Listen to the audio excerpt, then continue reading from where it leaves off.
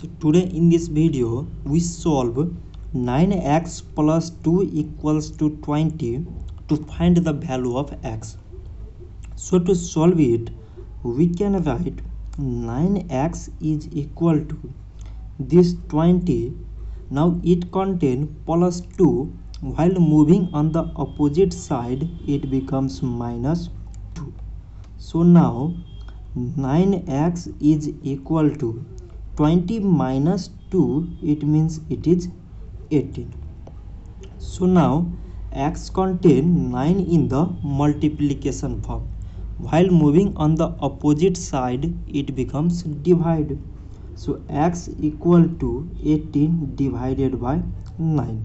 so we get x equal to 18 divides 9 we get 2 so 2 is the value of x so this much for today and thanks for watching